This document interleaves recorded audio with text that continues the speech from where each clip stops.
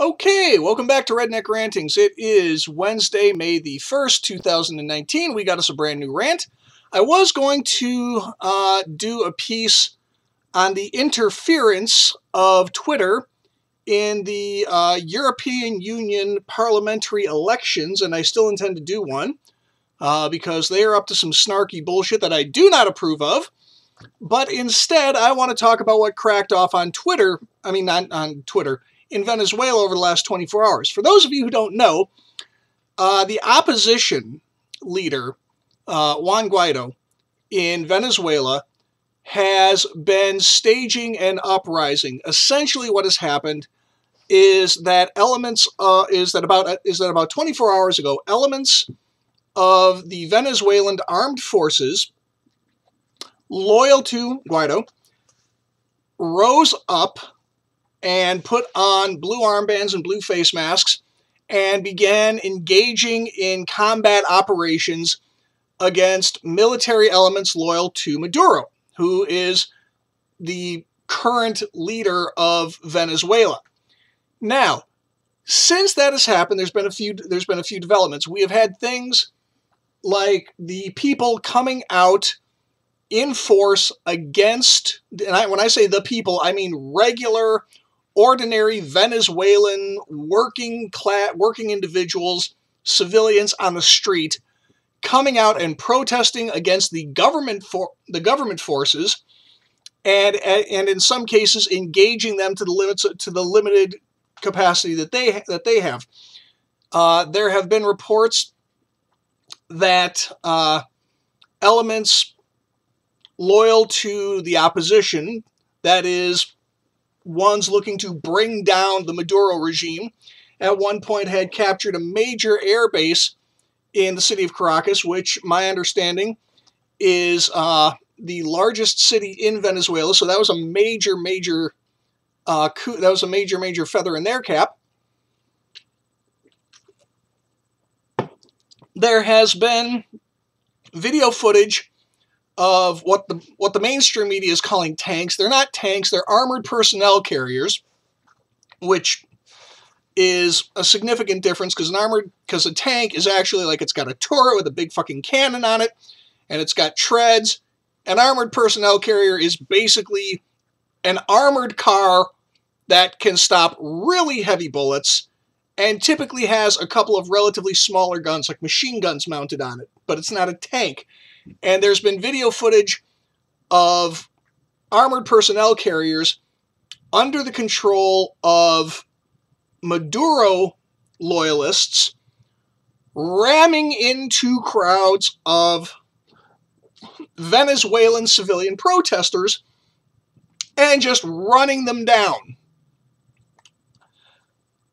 The government backed the, the government radio station has ceased operations which is never a good sign because, well, when that happens, basically they're trying to control the flow of information, which means that the only story they want to get out is theirs. Uh, apparently, and I just did a little bit of research before starting this video. Apparently, Maduro is going around the media claiming victory, claiming he's put the he's putting he's put the uh, the coup down, the uprising down, and that he has stepped on it.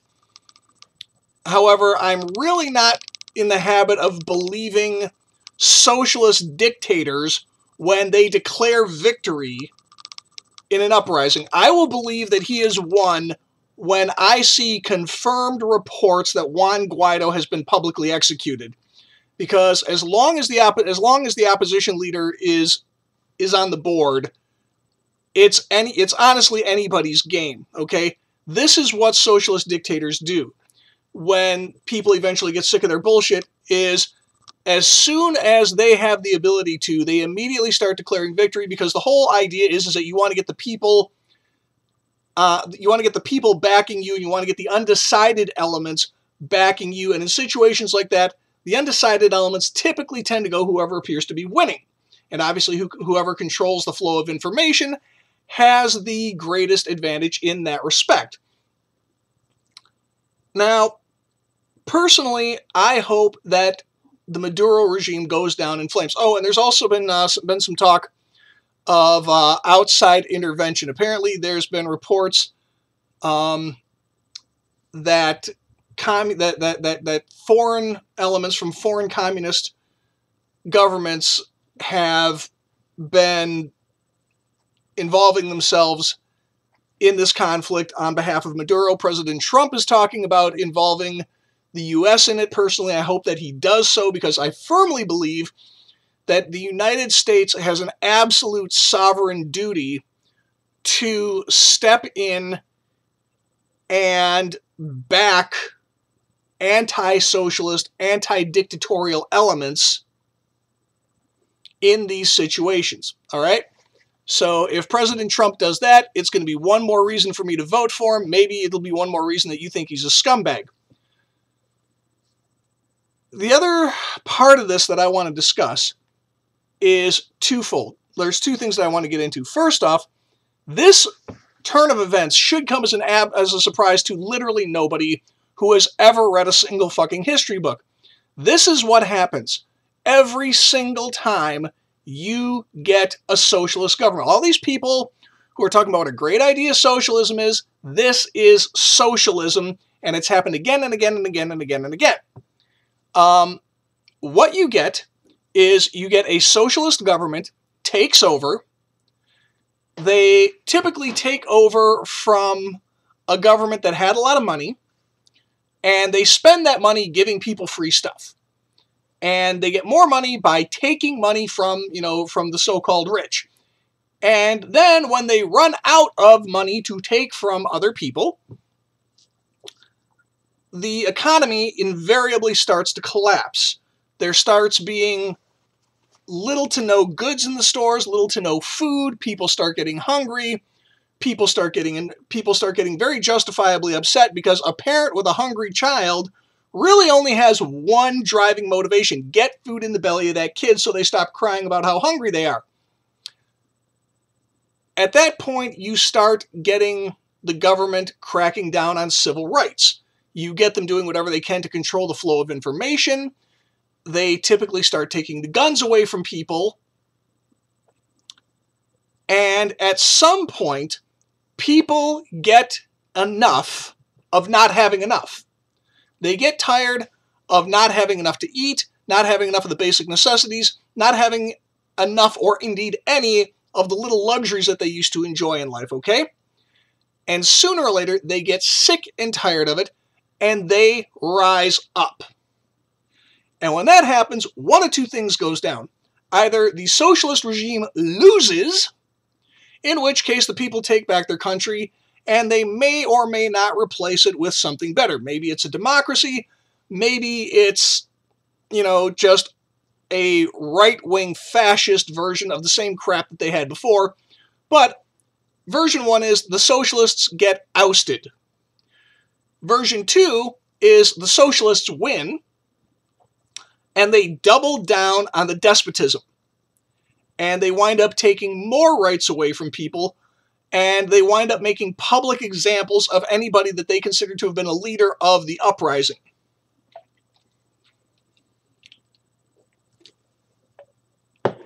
And they do that through things like work camps and purges and public executions, and just generally great big examples of y'all think you had it bad before, look what you've got now because you got out of line.